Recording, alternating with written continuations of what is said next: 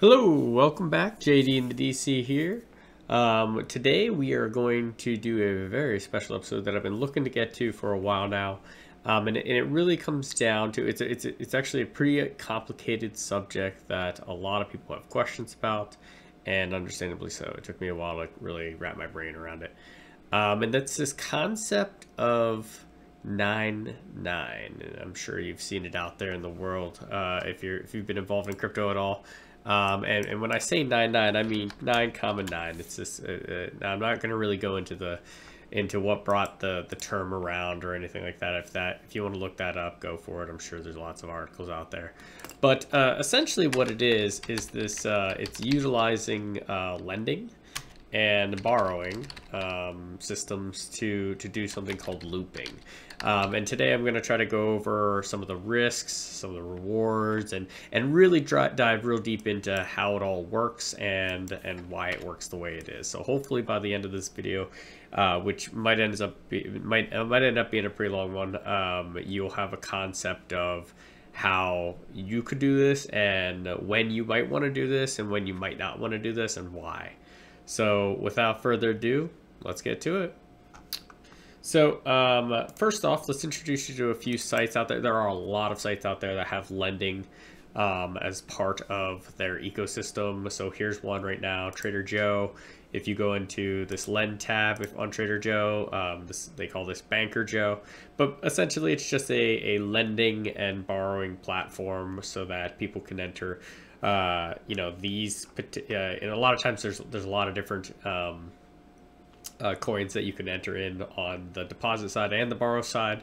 Um, you can see here you can lend out uh, AVAX, USDT, uh, some stable coins here, some other things, Joe, um, and and then essentially borrow. Um, you can do both. Um, and then here's Sol, uh, Solend. This is on the Solana network. That was on the uh, Avalanche network. This is on the Solana network. I really like this one. Um, again, same same same type of deal. You notice this is pretty pretty much the same uh, setup where you have US. Let's let's say using this as an example, you have USDC on one side. Um, you can see how much you you know. A lot of times you can see the APY you, that you would get um, if you gave the the protocol USDC to use. Um, and then you'll see there's a percentage of how much you'll um, you'll have to pay in uh, interest if you end up borrowing any. Um, and then lastly, here's a, a, very very popular one that's on multiple chains. Um, and uh, they they have if you go into their borrowing tab, Abracadabra. Uh, money and you'll basically be able to provide an asset um, that's on the outside here and you can borrow MIM, Magic Internet Money, which is a stable coin um, at uh, under under the terms of each one of these uh, pools they call cauldrons. Um, so before we dive too deeply uh, into any of these applications here, a um, couple notes here, and let's just take a look at AVAX here, or Avalanche uh, Banker Joe real quick. Um, so for example, if I had some Avalanche, uh, some AVAX tokens right now, right? Um, I'm seeing a 9.56 APY. What this means is I can give as many tokens as I want of AVAX to this, and I'll make 9.56. It's sort of like staking, but it, it's not the functionality of staking, right? So, so what's happening here is you're you're giving your AVAX to the protocol, right? They're paying you a reward, uh, which traditionally comes out of the uh, the the interest portion of um, of the protocol and uh, and that's it. That you're you're you're giving a supply of liquidity to the protocol so that um, people can come here and then borrow um, borrow whatever token it is that they want to borrow. So um, the way this typically works, um, they're called over collateralized loans, essentially. So basically what happens is let's say I give AVAX or let's say I, I give $100 worth of AVAX um, to to the protocol. If I click on here, I'll be able to see there's a collateral factor, which just means, uh, and, and this is the number, uh, the maximum amount basically of, of how much I would be able to borrow against it. So the so the way it works, and, and this is this kind of goes into how liquidations work.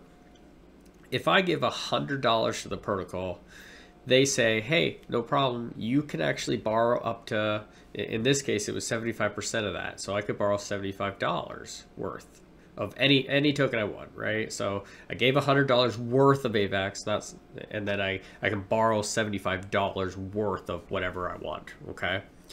Um, and they're basically saying, hey, look, you know, and keep that, uh, you know, at a certain point. Um, there's a there's a there's a percent at which you get liquidated. Okay. Um, in this particular case, there's a little bar here. Um, you know, they they say, look, at 100% uh, means your position will be liquidated. What that does is they basically they they take your collateral that you add. So whenever you deposit this into a lending system like this, they call it collateral. Okay. Um, and essentially, it's because if you borrow against it, they'll sell your collateral if let's say the the the value drops of AVAX, right? And now your collateral is no longer worth $100. Maybe it drops down to $50 worth, right? It cuts in half. AVAX cuts its price in half. Um, before it gets to that point, they'll sell, they'll flag your position for liquidation so that you always have enough to pay back how much you borrowed and that's that's essentially what this liquidation thing's happening okay? So when they liquidate your assets it's basically because you have this loan to value ratio and and and essentially you've dropped below a certain point. You your the value of your collateral has gotten too low and it's putting uh, they never want to put people who submitted deposits into the system at risk, right? They always want people to be able to be paid back. So what they will do is they'll just sell off your position. They'll pay back the borrower, uh, the person who uh, lent the money to you, and then you'll get whatever's remaining back. Um, and that's kind of how it works. So, so all that to say, um, if you did, if you didn't follow along with all that, don't worry about that. Um, I actually have a lot of examples here I want to go over with you on what that kind of means and how that works. Um, so, so let's just get really in depth here uh, into some of these numbers, okay? Um, so in this particular case, I, I made this nice little Excel, uh, well, I guess it's a Google sheet, sheet um, document to kind of explain a couple different situations. And we're going to start simple and small, and then we're going to work all the way up to what uh, what the 9-9 looping is. Um, because, but but I, I do think it's important that we go over the, the foundational aspects of, of understanding how the lending and borrowing system work and, and, and just so that you more most importantly you have an idea of what you're getting into and you know I, I, I travel around a lot of these discords and I lurk and you know I, it, it really saddens me sometimes to see um, the sheer especially when there's a huge drop in the market um, the sheer quantity of people that are getting liquidated. And and realistically they, they really didn't know what they were getting into. They just know that there's a lot of youtube videos out there. There's a lot of places out there saying hey yeah do this. You get some crazy apys uh, and they're not they're not entirely wrong. They're just leaving out the risk factors and allowing giving you all the information you need to make a educated, data driven decision on how to manage your risk and what you're capable of putting up and, and things of that nature. So let's let's just I, you know I want I want to provide you with all of that information so that you can leave here feeling a little more educated about the situation. So we're going to start small and simple. So first thing I did is I set this calculator up to to work off of what Trader Joe here is. So we we're going to use this USDC uh, stablecoin um, as an example. And in our exa- in our first example here, we're going to give the system USDC um, as collateral, and then we're also going to borrow um, against it. So, so the very first situation is I could give this protocol a thousand dollars USDC and and make 8.04% on it. I don't have to borrow. So that's your first thought. Okay? It doesn't cost you anything. It, it, it the you will make 8.04% and this is a variable APY. It's based on factors such as how much, how many deposits are in the system and how much people are lending. But but regardless, uh, the, the no risk factor here is I could take this stablecoin, put as much of it in here as I want, and make 8.04% on it. And that's the first step. You could do that all day and not be really have any very very very minimal risk and the like those. Uh, uh, and and and that's that's the name of the game, right? So the next step here is okay. Well, what if you want to borrow against it, and why would you do that? Um, so let's let's take a look here. So I set this, like I said, I set this up to be under those parameters. So the loan to value ratio is at 80%, and that means the, that and that's the same thing as this collateral factor. Okay, that means if however much USDC I put in here, I can borrow 80 up to 80% of its value. So for example, if I were to borrow, if I were to put $1,000 of USDC in, I could borrow up to $800. That's 80% of it, okay? Um, uh, so the starting APY is 8.05. You'll notice that that is uh, what it is here on the front. And then um, the interest APY right now is 7.39.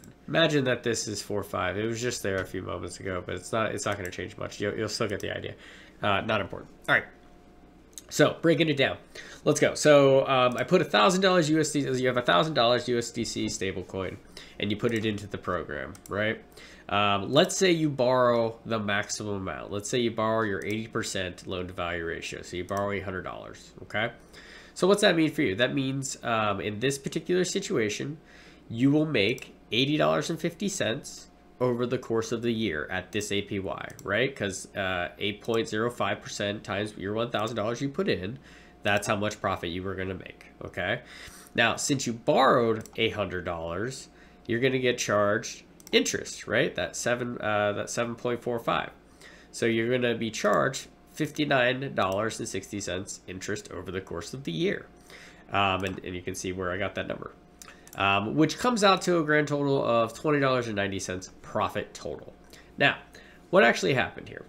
Um, so in this example, you gave a thousand, you got back 800. So it only effectively locked up $200 of your money. You with me? Because you got your $800 back. Okay, and you can do with that whatever you can do with that whatever you want. Okay, so only 200 of your dollars is actually locked up in the in the system. So as a result, that $200, you uh, on that $200, you were able to generate $20.90 profit. So that actually kicks your APY. If you're, if you're really looking at it from a brass tacks point of view, you still have $800 cash and your $200 is actually generating 10.45% APY because 20.90 divided by $200 is, is, is, uh, you know, 10.45%. And the most important factor is here, you have $800 in USDC to still do whatever the hell you want with it. Okay? You can you can actually you can send it back to an exchange and pull it out and put it back in your bank account. You could go exchange it for Solana or Bitcoin or whatever and do something else with that. Who knows? But it's yours to do whatever you want. So that's the first step. That's the first thing to understand, right?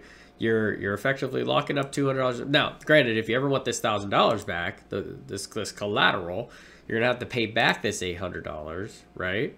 Um, but you get the picture. Um, so so that's the first step.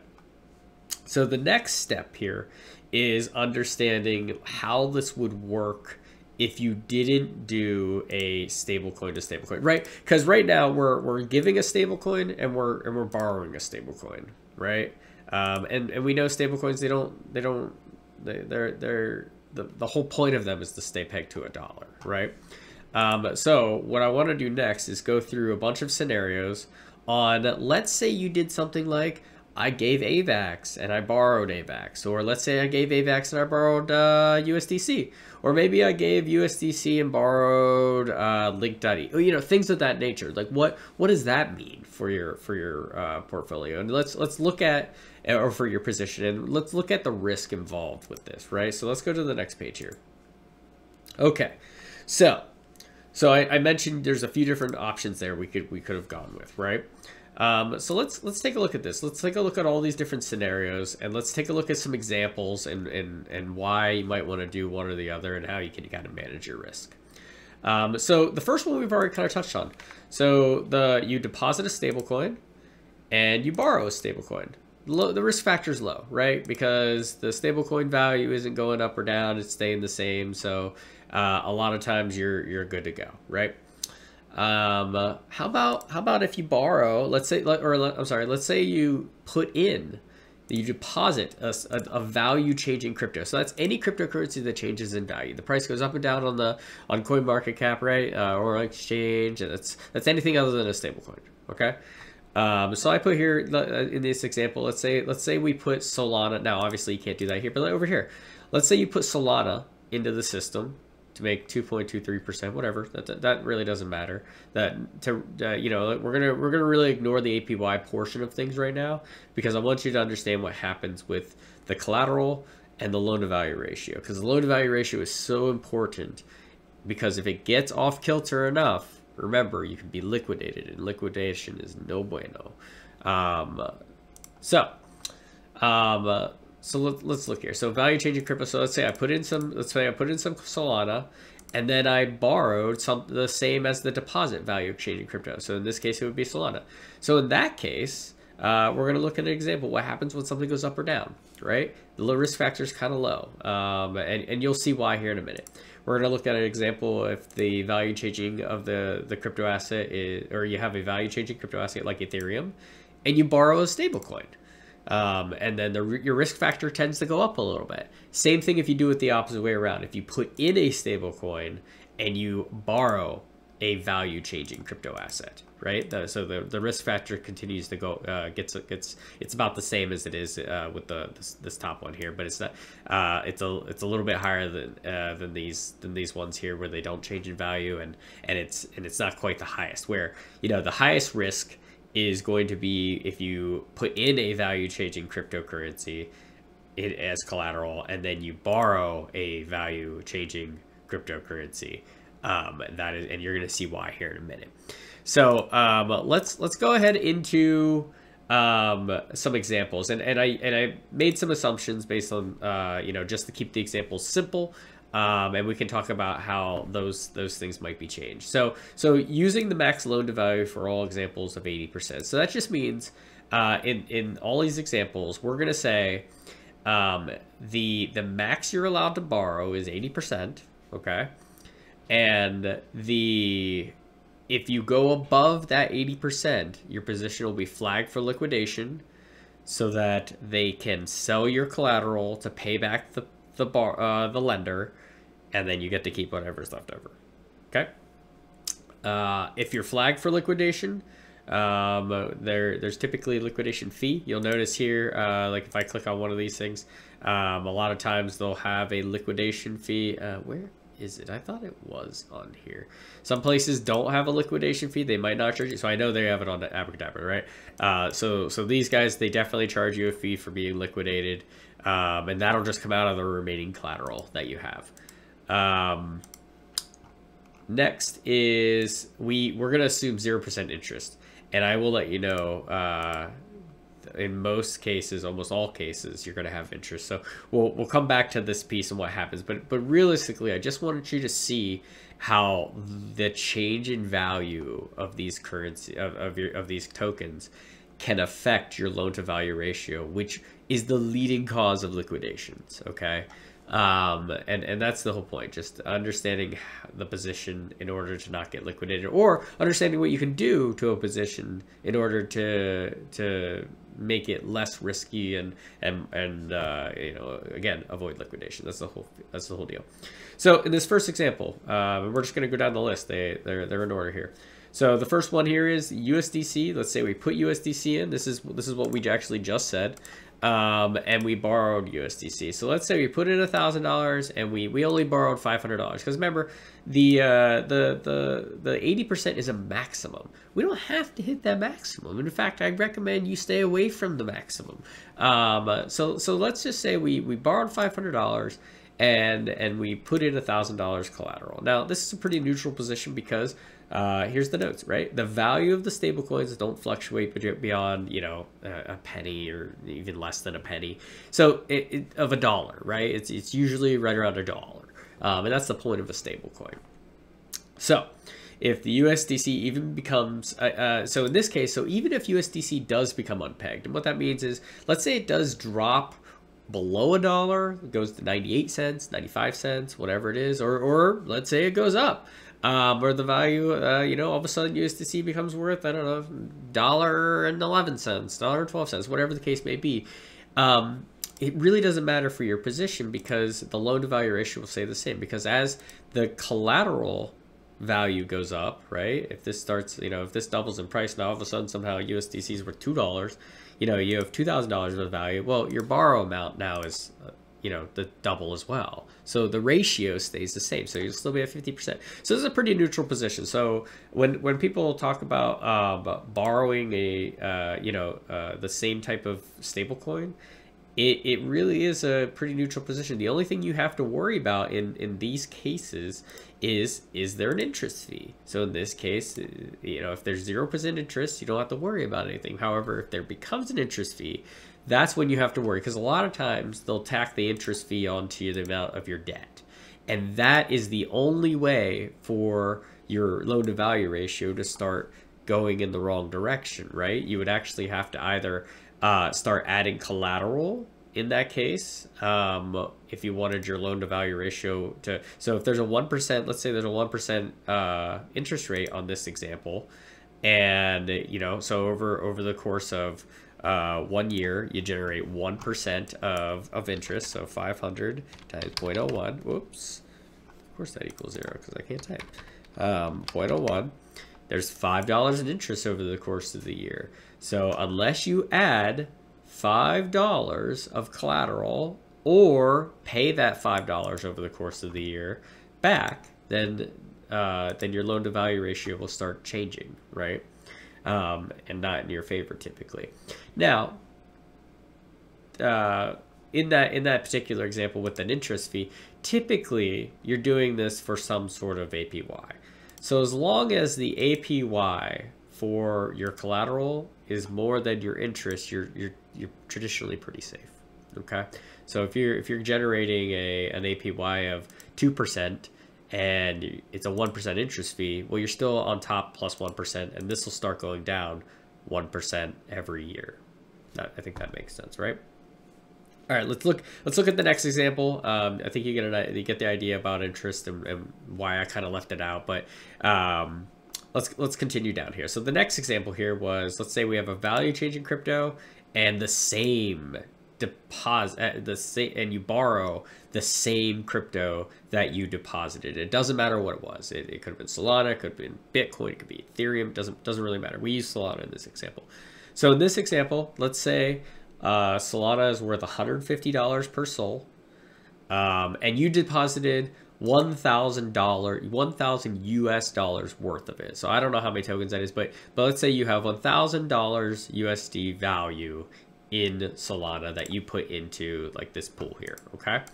Um, and then you chose to borrow 50% of it. So let's, uh, okay, so just the same as this example, our loan to value ratio. I could have probably borrowed more um, because the loan to value ratio is probably higher than max, but we want to avoid the max. Um, but but that really comes down to what you want to do as far as the person taking on the risk. But but uh, but in these examples, we're going to avoid the max, and you'll see why. Um, so we're at uh, $500. And, and the nice thing about this position, so it, you know, at, the, at, at this 50% uh, loan to value ratio, the, the, the position's pretty neutral in risk. Um, let's say Solana doubles in value, right? Let's, let's say, uh, you know, tomorrow, huge, huge news comes out, solves uh, world hunger, whatever. Uh, Sol Solana, Solana doubles in value. Um, so now your USD value is worth the amount you deposited is now worth $2,000. Well, that's fine and dandy, but it also doubled on the borrow side. So now you actually owe $1,000 worth of SOL, right? So uh, the point is, it, it didn't matter, right? For your position, you still have a 50% loan to value ratio. Um, which is great because it's still neutral and you're not at risk of getting liquidated. And the same thing happens if, let's say, Sol has Solana has some sort of crazy network injection, or maybe there's some crazy hack, right? Um, and it and it halves in value. You know, cuts it cuts it straight in half, and now it's worth seventy five dollars per SOL. Well, the amount of your uh, the value of how much you put in dropped to five hundred dollars. That sucks. But uh, but luckily for this particular position, at least from the a loan to value perspective, you know your your uh, the amount you borrowed now is only two hundred fifty dollars in uh, in value. So so again, we're still at fifty percent, so it's pretty neutral. Um, and I just put a note here, you know, if the SOL if SOL increases in value, so the value you borrow at the same rate, therefore keeping your loan to value the same. All right. Um, next up, let's say we have a value change in crypto, just like we did above here, and we borrowed a stable coin. Um, so in this particular example, uh, we have one side, your deposit, that could go up and down in value. And then we have the other side of your uh, of your borrow that stays the same. It won't go anywhere. It's a dollar, right? Um, so what happens here? So let's look at the first situation. Let's say uh, at the time ETH was $4,000 per ETH. Um, you deposited only $1,000 worth of Ethereum, however, point whatever that comes out to be 0.25 um, ETH, and uh, and you borrowed $500 worth of USDT, which happens to also be 500 USDT. Uh, so the position starts out neutral, right? We're at 50% loan to value ratio, but let's say ETH goes nuts, right? As we know it can. Um, doubles in value, right? Now all of a sudden you have $2,000 in the collateral side of things and you still only owe $500. So this is a good situation, right? Uh, your loan to value ratio just dropped to 25%. There's a lot you could do here, right? Um, all of a sudden you could uh, you you could take out a thousand dollars and you'd be back to your thousand and pay back your loan. You could just it, it, there's a lot you do. This is a good situation, right? You could borrow more if you wanted to, um, and put yourself back to uh, a thousand dollars. You know, you could borrow another five hundred dollars. You get yourself back to fifty percent loan to value. So that's one thing you could do, or you could just let it go, right, and and see what happens. And and you're, you're you know life life's ducky. Now now here's here's here's the bad part. Let's say it halves in value um, and these are extreme cases, right? Doubling a value, having value, but I, think I think the point is you're I think you'll get the point. Um, so let's say it halves in value. Um, now all of a sudden, instead of it being worth a thousand dollars, you're worth five hundred dollars. Um, and you still owe five hundred dollars. So this this is bad. Um, uh, so your loan to value ratio is a hundred percent, and let's be honest, with the max loan to value of eighty percent, you would have been liquidated well before this got to $500 down to $500 so you would have been liquidated when this thing reached i i you know i, I forget i should have actually done the calculation. So uh 1000 times 0.8 you would actually be flagged for liquidation only once once your once your position loses $200 you will be down to 80% loan to value ratio. After that point, they're like, this is getting risky for the person who lent you money. We're going to need to sell your stuff, pay back this $500 and you'll be so so what what happens in this situation, right? So this is the first liquidation situation, right? So so what would actually happen here is Ethereum would start dropping in price. You wouldn't even get to the half price thing here um, you would get to about $800 where your collateral, whatever that makes Ethereum value wise, but um, your collateral would, once it got to $800 worth of USD, uh, of, of uh, you $800 worth of value, you're at 80%, you'd be flagged for liquidation, which means that they would liquidate your position. So they'd sell your ETH. They would have $800 and they would take the $500 you owe minus $500 and they would pay back the person that you borrowed money from. Okay, that makes you good on your borrow, right? And you have $300 left. Now, if there's a liquidation fee, like we saw in some cases, uh, like over here, right? Which there's all kinds of different liquidation fees that they have depending on the uh, depending on the uh, cauldron. But um, so they would they would at that point take the fee from you as well. So if it's 10%, they take they take $30 from you. So you would actually be left with $300 minus 30 and you would have $270 left in your position. And that's what would happen if you got liquidated. No bueno, right? I agree. Um, now, keeping in mind, if all you did was uh, put money in and borrow money out, keep in mind here you might not be realizing this, but you also still get to keep the amount that you borrowed. Okay, in this particular case, so if you just put money in and borrowed once against it, you still you that borrowed money, you know, you you take and you just like before, you uh, you take and use wherever you want, you do whatever you want with it, so you still have that money. Um, whether you have it sitting tight, waiting to pay back this. Uh, now, in, in this particular case, if you're if you're have a more risky position like this, remember this is medium risk, right? Um, so if you have, as you get more risky, it becomes a good idea to have reserve cash on hand, so that if if the price action starts going sideways or uh, upside down on you, like this does, and it won't take much, right? Like it only took two hundred dollars worth of uh, value to move before you got uh, flagged for liquidation, you would you would traditionally want to keep some of this money on hand to pay like it, to to pay back your borrow in a pinch, right? So you could have avoided liquidation entirely just by paying back some of your borrow or and and again shifting your loan to value ratio. Um, but the point is, let's say you did get liquidated, you had this $500 still out here, so you actually came out with um, $770. Um, uh, now, granted, you lost $230 to liquidation, okay? Because you put in $1,000 worth, right? You borrowed 500 um, and now you're left with 770 in the end. So it's not the end of the world, um, but still risky. You don't want to get liquidated. You, you paid a bunch of money for nothing. Okay, moving on. So obviously, you can see immediately how in this scenario it gets exceedingly more risky, right? Uh, liquidation becomes a thing after that point. Okay. Um, provided interest is zero. It's not even factoring in the interest rates and stuff, okay? Uh, next one is the opposite of that. Let's say we have a stablecoin that we uh, give as collateral, um, and let's say we have a value changing crypto that we borrow, okay?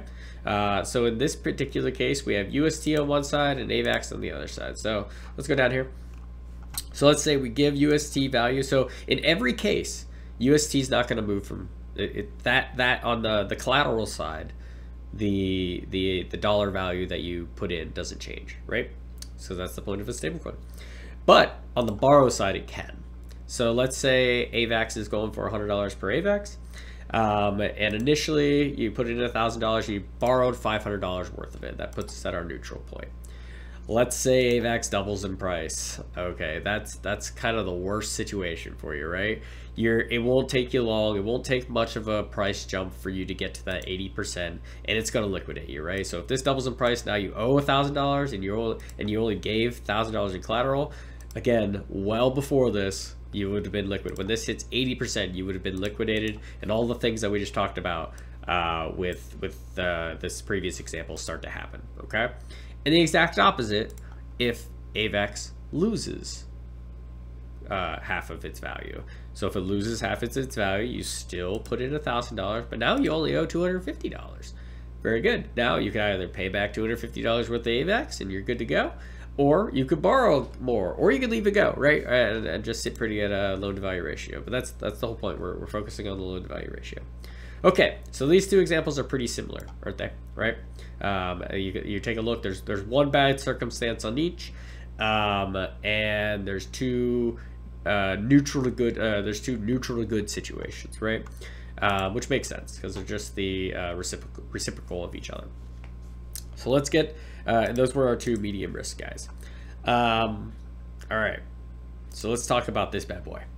Um, this high risk and potentially high reward, but I want to know high, I want to note high risk. Let's say you have a value changing crypto on both sides okay? No stable coins. They're not the same crypto that you so so value changing and not the same okay? Because remember we had value changing up here but they were the same. It's not the same this this example is if they're not the same okay?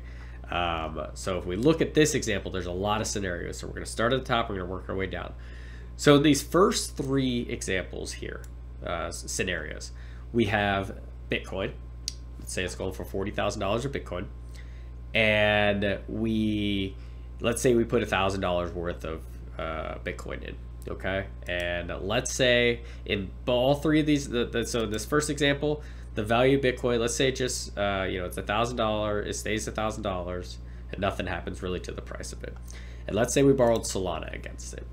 And let's say we borrowed $500 worth of solana against it okay? Um, so that's our neutral position. So that's where we started. We're at a 50% loan to value so let's say Bitcoin's price remains the same or pretty flat. Our value remains right at $1,000 and Solana doubles in price. Oh dear God, now we owe $1,000 worth of Solana. we're at a 100% loan to value. We're going to get liquidated well before Solana actually doubled in price. We're going to get at 80%. We're going to liquidate it. Bad news bears. So that's a bad situation. Um, in this situation, so let's say uh, Bitcoin stays the same and Solana halves in price. Well, very cool. Um, that means our loan to value ratio goes to 25%, and now we only owe $250 worth of Solana. So that's a good situation. All right, now let's say the other side happens, right? We have Bitcoin. Um, let's say that doubles in value, right? Um, and Solana stays the same. Well, similar scenario to, to the one right above it. Um, you know, our loan to value ratio, Solana is still only worth, uh, we still have, we still only owe $500 worth of Solana. And now we have $2,000 worth of Bitcoin. Great. 25% loan to value. Good to go. Came out on top of that one. Um, this next scenario, um, I, we, we kind of remain neutral. Let's say they both double in value, right? Um, now we owe two, uh, now we, we gave $2,000 uh, worth of, we, we, we supply, our, our collateral is $2,000 worth, and our borrow is unfortunately now also $1,000 worth, right? So we're, we're back to 50%, we're back at our neutral party, uh, our neutral stance. So let's say in this case, this is and this is the best case scenario that could happen in this uh, this case, right? Uh, let's say Bitcoin, the amount the the token that we supplied doubles in value, and the token that we borrowed halves in value. So now it's we only owe two hundred fifty dollars worth of the token. Great. Um, so now our loan to value ratio just became a twelve point five percent. That's the lowest situation scenario we're going to be able to get to in in this case. Okay. Um, now in let's say Bitcoin starts to half.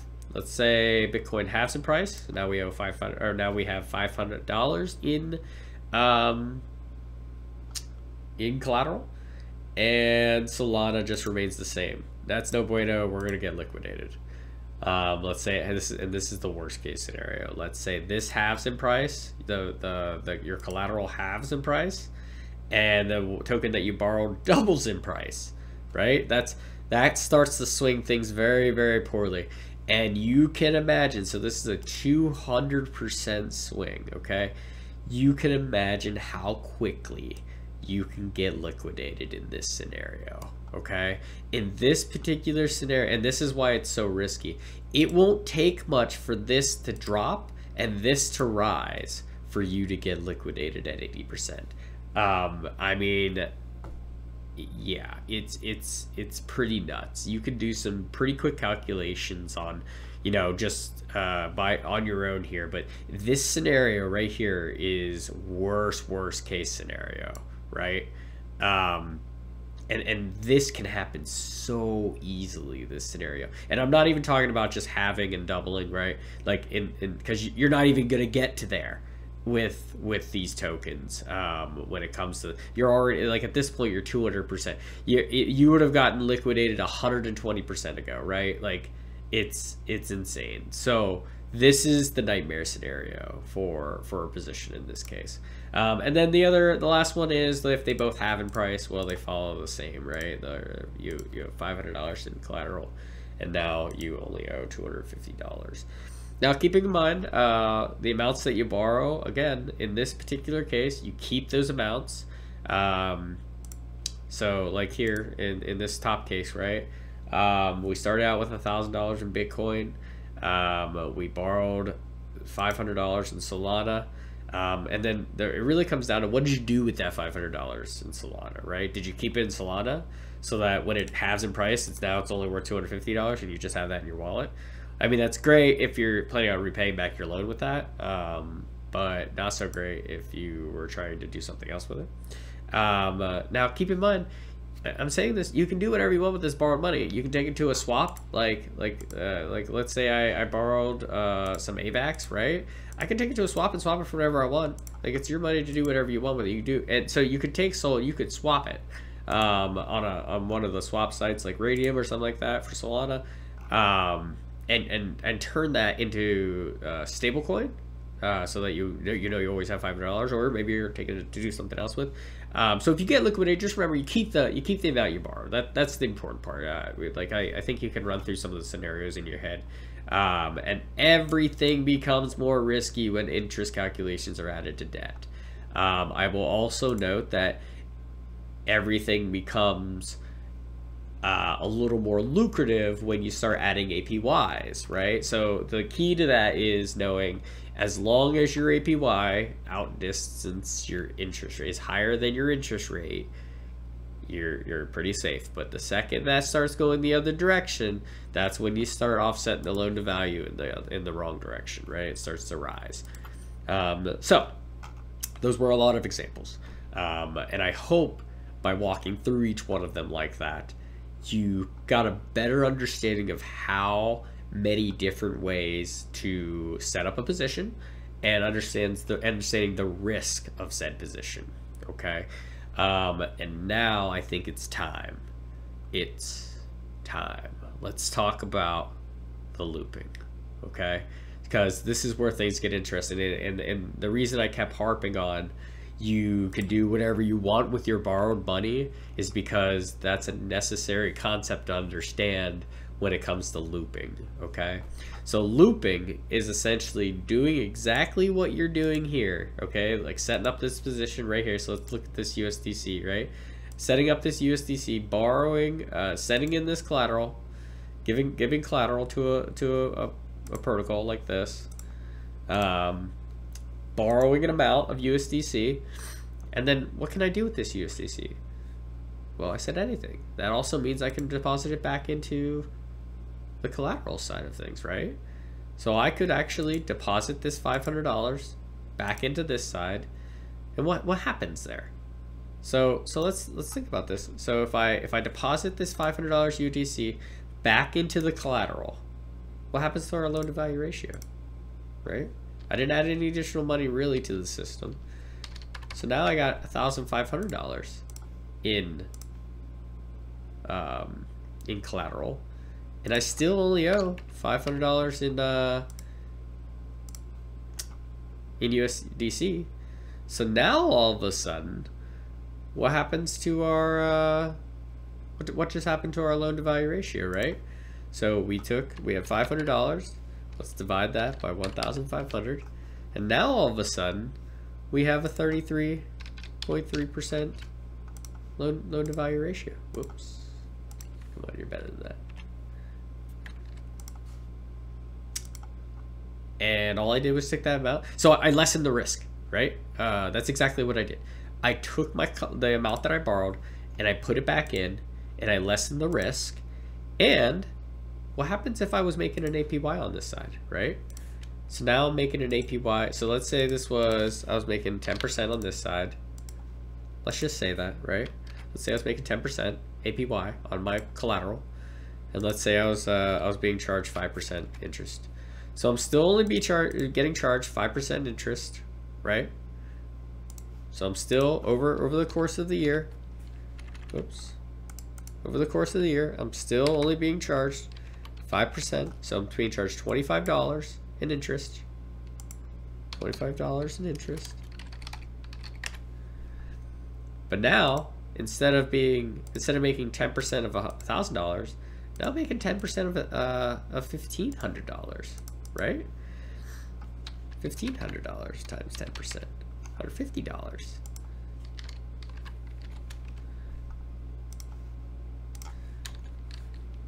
Instead of $100. Well,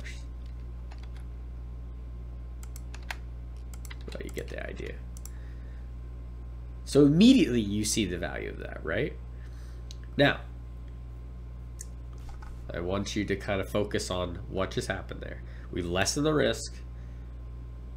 We took that $500, we put it back into collateral by lesson. That's how we lessened the risk. And then we also uh, increased our reward by $50, right? Or, you know, by, by allowing us to get, uh, by taking that borrowed amount. So this, this is an example of that first loop. And we're to, we're to take a look at my stable loop uh, calculator to show you a stable loop um, and kind of give you a good idea as to the power of this. Okay. Um, so anyway, that's that's that's what's happening when people are talking about nine nining. They're talking about this now. what what additional risks are we taking on? Okay, let's say let's say these weren't stable coins, right? Stable coins don't move in value. Um, so let's say you did that. Let's let's go down here to this uh, one of these riskier scenarios, like here. Okay, let's say you you did that here. You put a thousand. You had you you, you had a thousand dollars collateral. You borrowed USDT, right? Five hundred dollars worth, and then you went to a stable coin. You went to a swap site. You swapped this USDT for five hundred dollars worth of Ethereum you then you came back here, you took that Ethereum and you put it in here. And now all of a sudden you have thousand five hundred dollars in value in collateral. Okay.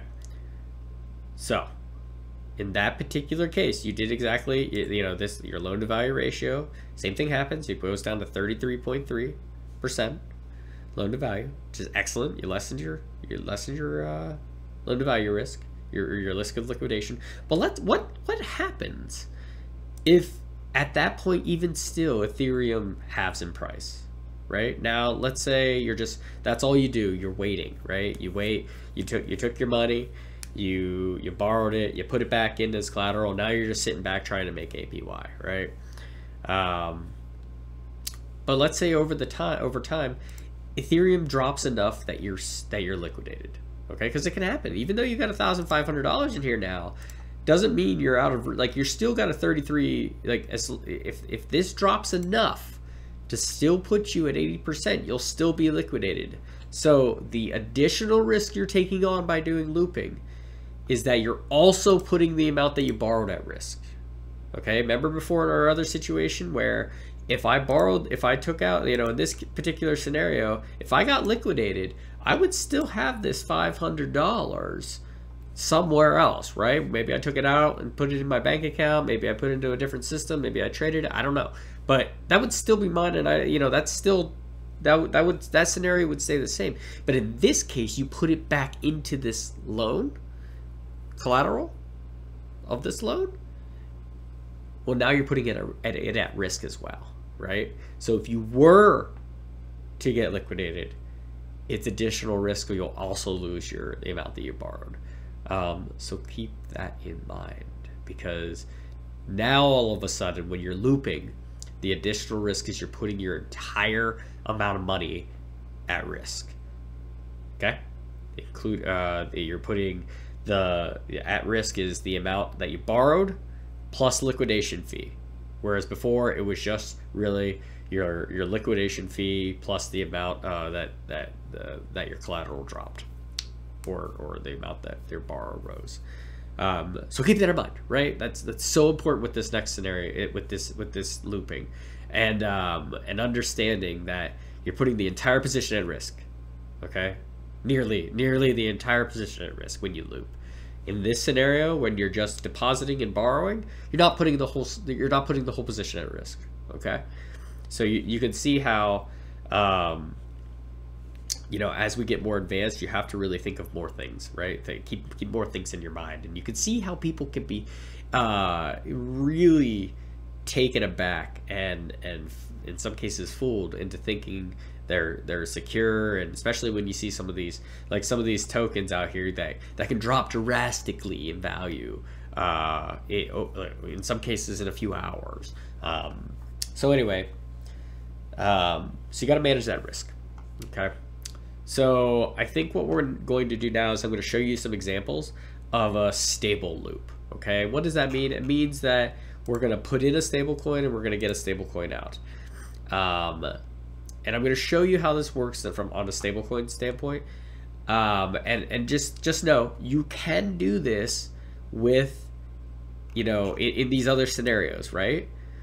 But because of the added risk of putting the entire position at liquidation, uh, I would recommend until you firmly understand how this all works and you have a firm grasp that you avoid doing any of these scenarios. Okay, the the value changing crypto to stable or vice versa, or worst case the the two value changing cryptos. um, because you just put yourself at so much more risk. So in, my personal portfolio, the only type of position that I take up is one of these two. It's either it, when looping, it's either a stable coin to stable coin or a value or a value changing crypto to the same exact value changing crypto because the the risk is the same as the stable coin to stable coin. Okay. All right. Let's go to the next tab here. Here we go.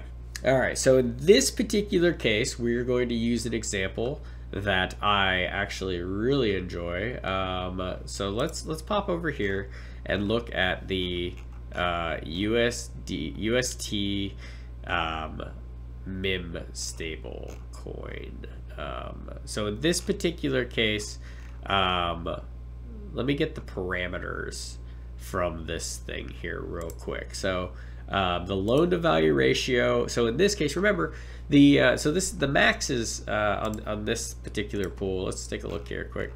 Uh, the max on this particular pool is 90%. Okay.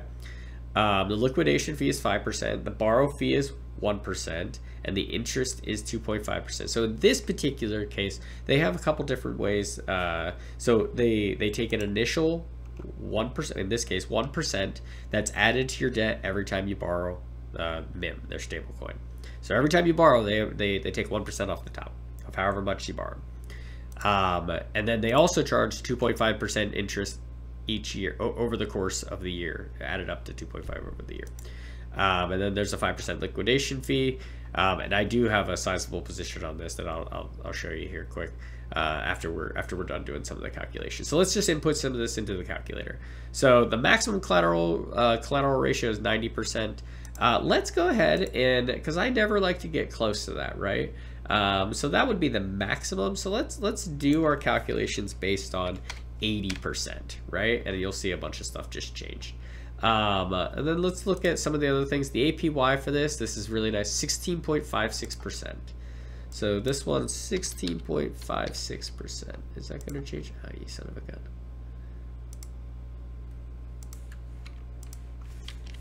Get that right.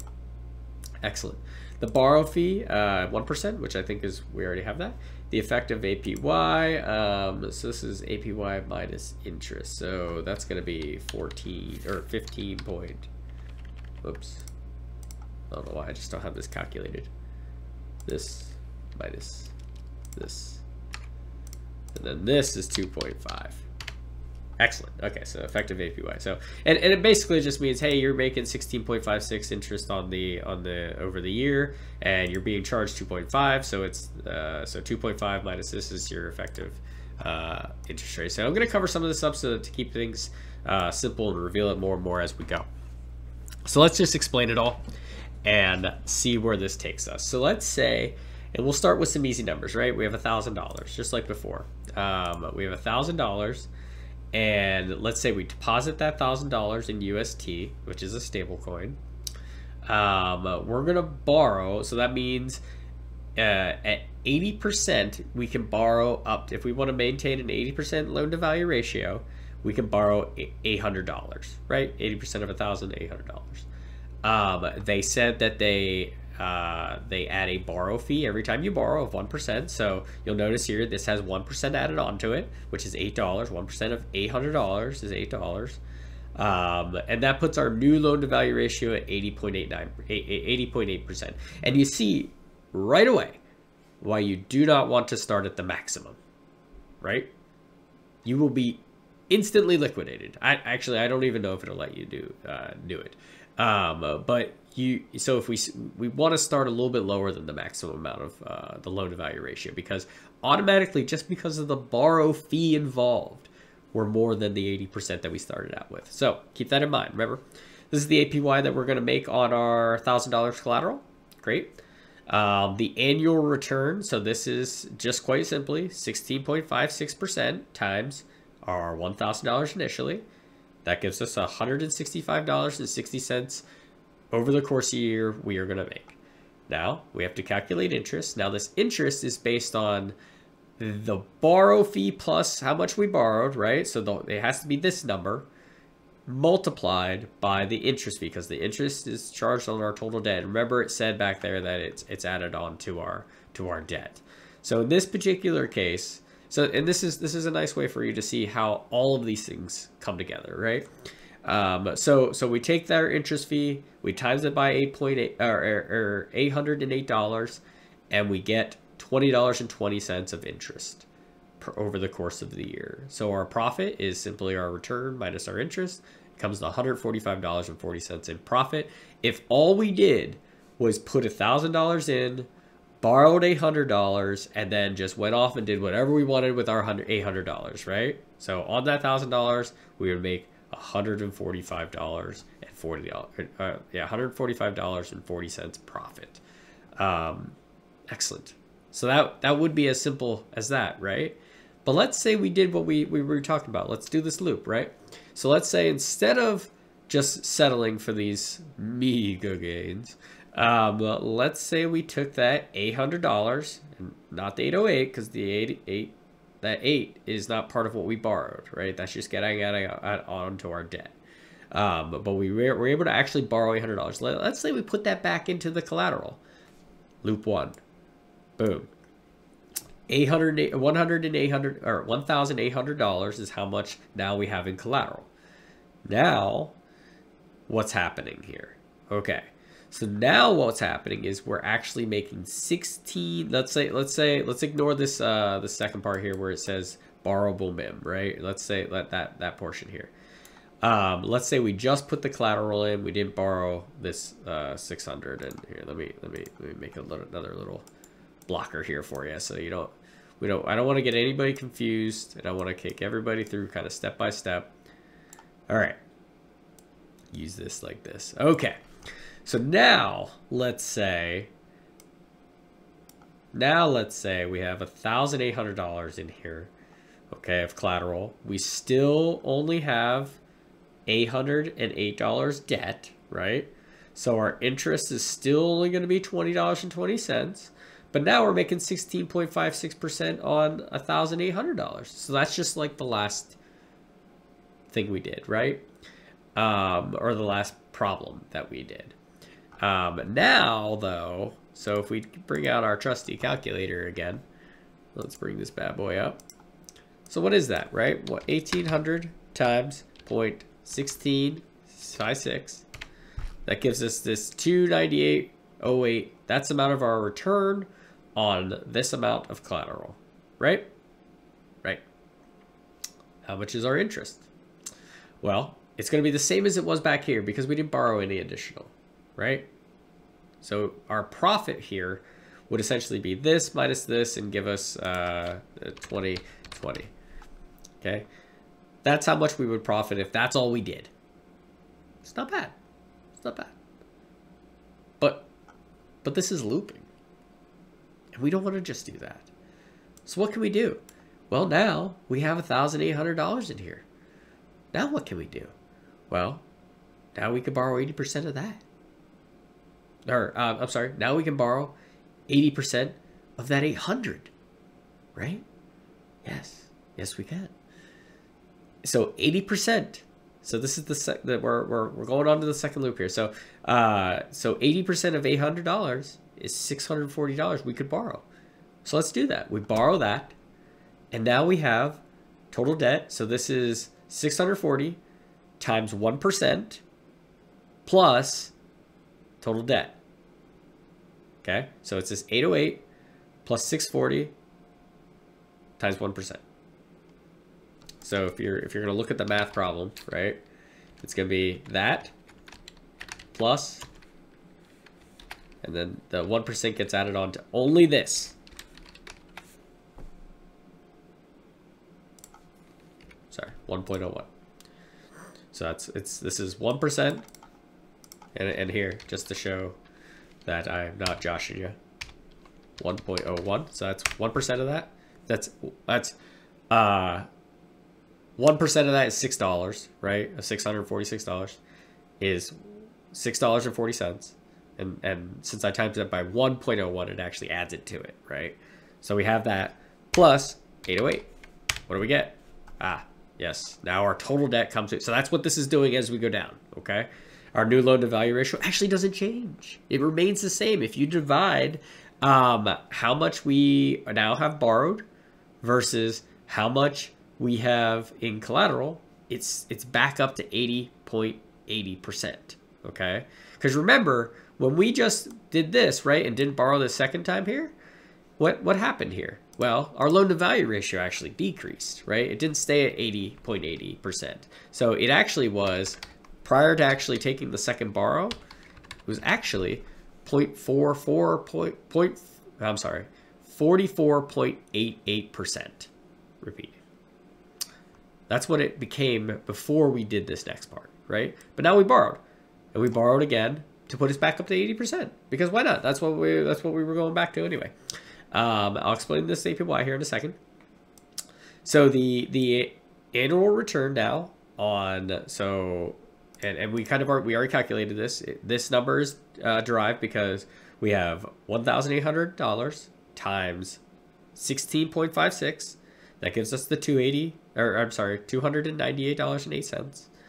Annual interest now is calculated based on this new number times two point five percent, right? So now we're at thirty six dollars and now all of a sudden, this minus this gives us this $261.72 profit. Um, so you're thinking to yourself, okay, well, why'd you do that? Because, you know, we were actually making a little more profit if we just kind of hung back here, right? Sure, sure. But remember, now we have $640 just floating around. What are we gonna what what are we gonna do with that? Well, let's deposit it back in there. And we roll again. So now you, you see where this is going, right? So now you have $2,440 in collateral, right? That, and now you're making 16.56%. Oh, I'm sorry. 0.65, uh, 1656. You see, now you're making $440 in a year. That's way more than you were making before. So you see here how this is quickly getting to be um, more and more return. And you might be thinking, okay, well, what's this APY here thing, John?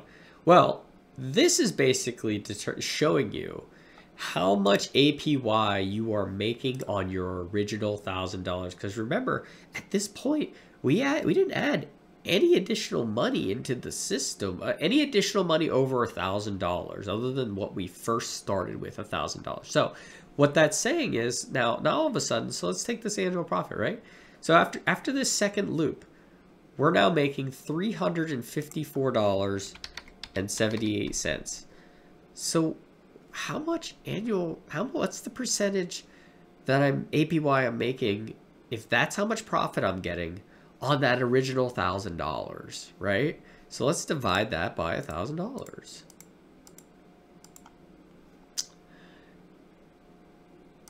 Oh, I see, I see. Okay, okay. So you're effectively making uh, 35.47. I guess I should probably put an effective APY over here, uh, to be honest with you.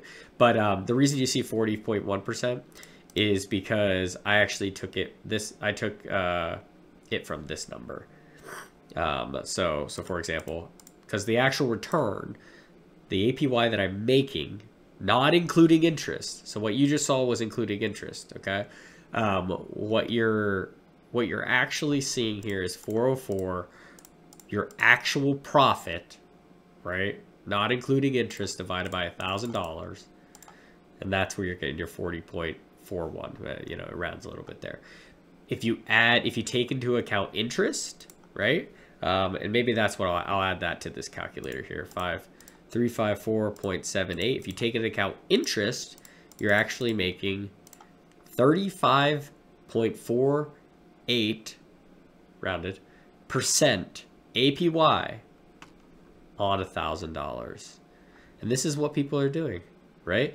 And the so this is the reason why people are doing it, right? Um, is because now I can take this away, and now you can see all the loops. They're all doing the same thing. The loan to value ratio never changes. The borrows, you know, I did 20, this is 22 loops. You traditionally wouldn't do that much, right? Because at a certain point, it's diminishing gains, right? It's diminishing to the point where it, it just doesn't make sense. Um, or, or you know, in, in, some cases, it's a lot of work. In, in some cases, like if there's gas fees, if you're doing this on Ethereum, whatnot, each one of these things is a transaction, and it's just going to add up. Um, but at a certain point, you would just stop, like down here. Uh, a lot of people don't do many that many loops, um, but you can see very quickly here how you can get up to some really decent uh, APYs, right? And and that that's only on a thousand dollars. What happens if you do this with ten thousand dollars? Wow, right, right. Now you start seeing some crazy returns on a year, right? 75% you can get up to pretty easy. And, and the nice thing about this is the threat, um, the risk you want, and the reason you want to keep the risks of liquidation low is because all of this is at risk if you're looping. Okay, so that's why I only do things with stables. Okay, so in my particular case, I'm using Abracadabra money, uh, Abracadabra money, um, to use put in a stable get out of stable because the price between them, the, the, the stable coin remains pegged to a dollar. Okay. So you're saying uh, you might have just looked at that position and been like, well, John, why why aren't you at uh, 80, 90, a higher percentage loan to value ratio? Like, I don't know if you noticed here, um, in my particular case, right? I've been able, I have a collateral deposited, collateral value, right? So my deposited, uh, let's just use the deposited, right? So this is how much I have deposited. Um, but here, uh, go, go, go back actually. Um, yeah, other way around, other way around. I borrowed 680850. It got up to borrowing this much MIM, right? Um, and I only deposited 528 so you'll notice my uh, my loan to value ratio is is is 0.7 is is 76 percent. So it's it's much lower than 80 percent, much lower than 90 percent. Um, and you're like, well, hey John, you know they don't move in value. Why would you ever uh, go off so far? Like you can see here, even what my liquidation price is. It's uh, the the price of UST stablecoin would have to get unpegged from the dollar all the way down to point uh, to 84 cents a little a little bit less than uh, a little bit less than 85 cents in order for me to get liquidated. Because if my if I got liquidated I'm just not willing to take on that risk right? Um, if I if, if there are things called flash crashes okay? And this is something you need to be considerate of. And here's some here's some uh, of the risks I've labeled down here right? The pro uh, so one risk is you know the protocol could get hacked. You know if that happens uh, there's no telling what could happen because it really depends on the hack. But you know that that's always an innate risk with using any DeFi central or DeFi product right out there. That is always going to be a global risk. Okay, no matter how many times it's audited. Now, granted, the more times it's audited, the better, right? So you want to you want to that's that's part of the reason why when you look at a lot of these um, a, lot of these protocols, a lot of these DeFi apps and whatnot, you want to do some research into them and understand, okay, how many times were you audited by a third party or for security flaws and things of that nature? Um, because the more, the better, right? You want to be pretty, you, you want to mitigate this risk as much as possible.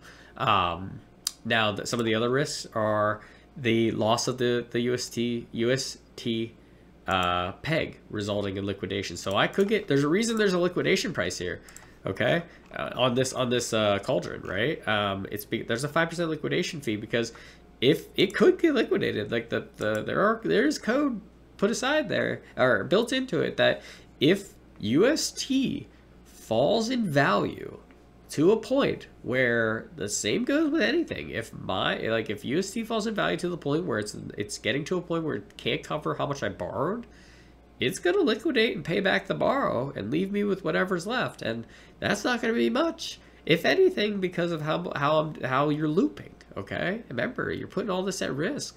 Um, and the reason I, I set my risk to where it's at um, is because um, if you come out here and look at the historical price of UST, okay, and you can go to a couple different, there's an Oracle. Um, I like to also track the Oracle for UST, and you can find this uh, on Chainlink. Now, make sure you understand where the protocol is getting the price. So in this particular case, Abracadabra is getting they're they're they're detecting the price of UST through this oracle. So I watched this right, and if this starts to uh, lose its peg, start to drop to 99 cents, 98 cents, 95 cents, 94 cents, you know, I'm going to start thinking about repaying my loan um, or adding more collateral, one or the other, to, to drop down my, my risk of being liquidated because I, you know, the risk is too great. Um, but the reason I selected where I'm at now is because there's there's these things called flash crashes, and you can clearly see here there have been two flash crashes of particular note in the UST that um, you know I, I, just came out here I was able to see oh look at one point it dropped to 94 cents. So it has happened before. Um, and people have got liquidated during this case. So uh, that's why you don't want to max out these positions okay? Um, and whoa look at this bad boy. Um, this dropped to 85 uh, 85 cents little little over 85 cents. So that's why when you look at my position the I set my liquidation price to be lower than it's ever been before. I feel pretty safe with that um, at the moment. Um, and and keep in mind, as I make profits on this, the pro, uh, the the APY is actually much bigger than the interest, right? So I'm getting you know interest is getting added onto my debt, but as the weeks go on, my APY is so much more that my collateral value is increasing at a much higher rate which is driving down my loan to value ratio, which is always the goal, right? Um, so that's that's the key because as you drive down your loan to value ratio, well, you're you're risking less and less, right? Um, and the price at which you get liquidated continues to drop. So I see my price, my liquidation price dropping at like uh, 0.00, uh, I think it's like one seven per uh, per week, which is pretty decent.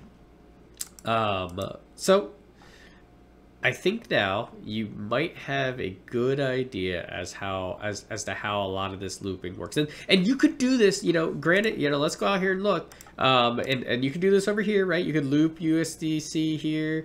Um, you could now it's uh, you can loop USD uh, UST here, and that would work out pretty well. Um, I will say that Abracadabra does give you some of the better um uh, situations um, in order you know different like they're they're multi-chain you can do uh, you know they, they they have a lot like this uh, CVX3 pool here is a you know that CVX3 pool is actually just a bunch of stable coins. And so this I would consider stable to stable right? And you're you're getting a lot less but at the same time it's just a different you know uh, it's different um, it's it's three stable coins, so it's diverse. It's diversifying your positions. There's a lot of things that go into it, but uh, you could absolutely go out here to one of these and and uh, and you know like uh, X sushi, right? That's a value changing token. Put put a bunch of sushi in here. Uh, make 20% on that, borrow MIM, go swap it for more X sushi, uh, put more sushi in here, and start looping this. But the risk becomes so much more greater because not only are you adding the risk that you're you're putting your entire uh, bag at, uh, bag on the line, but you run these risks right where if the stable coin itself drops in or if the if the value changing coin itself drops or rises in value um, so in this particular case you'd be in this scenario right with mim on this side um, and and um, sushi on this side. And in this particular case remember down here um, if you know if sushi started dropping value really hard, um, started dumping, you could get liquidated. It'll liquidate your whole bag, um, and that's no bueno um, in my book. So, and, and, that's just not it's just not a risk I'm willing to take on. So, and that's just me. But the purpose of this is for you to understand the risks of all of these things. And uh, and I do have a note here I forgot to mention. Uh, why do these numbers not exact? like it match exactly the Abra cauldron. Well, uh, it's because remember how I said you, are taking that mim and then you're you're swapping it for sushi, or or in my case, if you if you go back here to, to my UST, so it's taking that mim and it's swapping it for UST. Well, it's swapping it somewhere, right? And what's happening is there's a swap tolerance. So basically it's going to get you within uh, if you whatever you have selected your percentage. So it may or be may or may not be when you swap the in for UST. There's there might be a one percent uh, difference in the uh, in the in the amount. You you can see that one UST equals one point zero zero zero nine mim, right? Well, it'll be you'll get within one percent plus or minus of that amount when you swap, right? And that's because of the way liquidity pools work.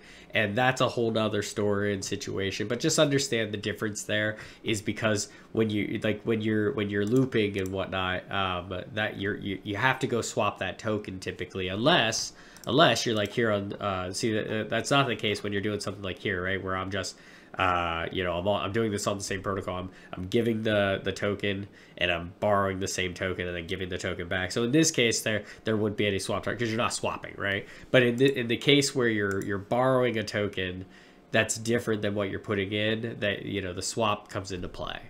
Um, so just you know the little nuances, but I think the the overall uh, idea here to get through is that you know the, the concepts that I've tried to lay out as to what is nine nine, what is loop lending looping, um, and and how does it work, and how can it affect your gains, how can it affect your risks, and I hope that this explained it in such a way that you're now able to go out into the world and make educated, data driven decisions. Which, if that's the case, then my my job here is done drop me any comments. Let me know. Uh, drop me a like if you really got any value out of this. Uh, you know, I, I would really love uh, to start building a following. So hit me with a subscribe if you want. I'm to put out uh, eventually here. I'm actually to go through how I physically built my UST uh, MIM position. You'll notice here, uh, you know, I, I didn't start out with $66,000 in this, right? Um, I actually only put in uh, $16,000. So, uh, you know, just to give you an idea of the power of this, um, on that $16,000, I'm making 16, uh, I, am making uh, 16.56% on $66,000 instead of $16,000, right? Uh, so instead of making two thousand dollars on the two almost three thousand dollars on the year. So instead of that, because I'm doing this this way and and adding risk to my portfolio, um, I'm now making. Uh, so let's do the value of it. 0721.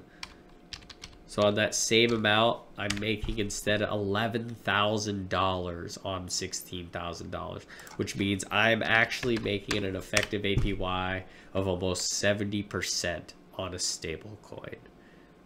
Awesome. Very awesome. And that's the power of this. So uh, stay tuned. I'll, like I said, I'll, I'll put out a I'll put out a video on how I did this and and how abracadabra works and what some of these things mean and and I'll show you how they have the looping built in uh, which is really really cool. Um, you know a lot of these platforms you got to do it manually.